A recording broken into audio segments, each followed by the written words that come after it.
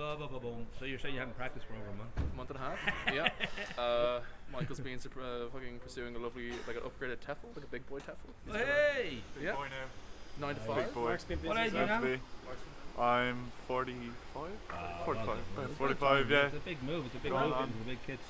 Yeah. Uh, so, how long has the band been together? Because you know, you sound um, a good fit. So I presume I don't know if it's been years and years or whether this is. You Let the main, the lead singer answer that. Uh, So I couldn't tell you. fucking shit. It's Where is like oh, before January.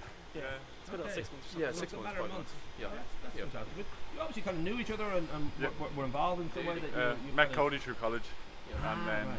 he uh, one drunken night asked for one wanted play drums. And I I did. I was. It was like in college. You're I'm scuttered. Oh wait, yeah, shit. scuttered out of your mind. Harvard, yep, Harvard boy. We're having a little.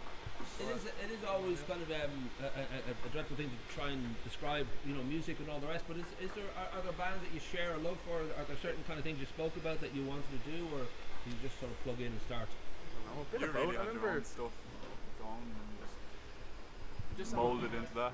We all like the uh, same sort of energy, like getting bopping. We want to hear. We want to get bopping. We want to bop. We want to get bopping. We want to get people bopping. Unlike Like the all show the other band here. The bands. show band Yeah. here was great for the old bopping. The Yeah. Huckle Buck, that's a that's a perfect bopping song. There you go. We love show band music. Oh, All no. influenced by Sinatra. Oh yeah. You know, Um, Elvis came along, blew our minds. Lil Pump is uh, uh, one of my favorite of all time at But, the moment. but you must um, you must talk about you know bands that you like or music that you like. I don't know if there's a if there are Queens of the Stone Age were a good kind of point for this like modern Right. But kind of classic-ish rock Okay. sound Arctic that Monkeys as well, yeah. Arctic Arctic Monkeys, Monkeys, and there's Black definitely Keys a little bit. definitely a hint Yeah. of cream in there.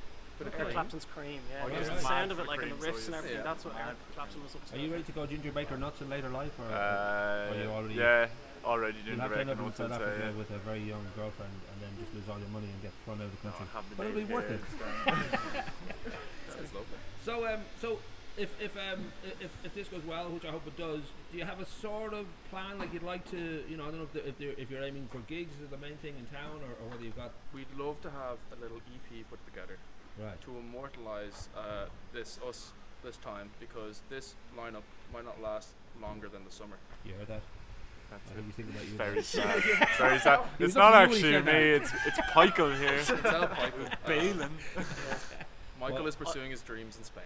Ah, Yeah, yeah. right. Uh, the Irish landlords uh, are me off. Yeah. So I'll have to get out. I'm gonna try it out anyway. Fight Um, the system, man.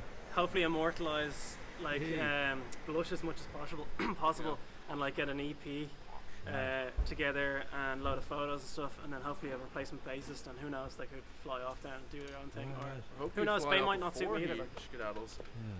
Skedaddles. Yeah. And, uh, We could take the Mark E. Smith route, where it's just every every single week there's a different band member.